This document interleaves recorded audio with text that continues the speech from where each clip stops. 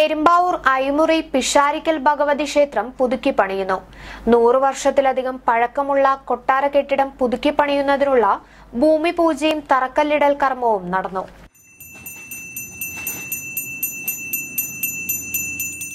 ക്ഷേത്രം മേൽശാന്തി ശ്രീധരൻ തിരുമേനിയുടെ കാർമ്മികത്വത്തിലാണ് ചടങ്ങുകൾ നടന്നത്. നൂറു വർഷത്തിലധികം പഴക്കമുള്ള ഐമുറി പിഷാരിക്കൽ ഭഗവതി ക്ഷേത്രത്തിൽ നടന്ന ഭൂമി പൂജയിലും തറക്കല്ലിടൽ കർമ്മങ്ങളിലും നിരവധി പേർ പങ്കെടുത്തു. N S S കരയോഗം president P N Unnikrishnan secretary M G Chandramohan Elayidam ക്ഷേത്രം മാനേജർ മോഹൻ ബാബു തുടങ്ങിയവർ ചടങ്ങുകൾക്ക് നേതൃത്വം നൽകി.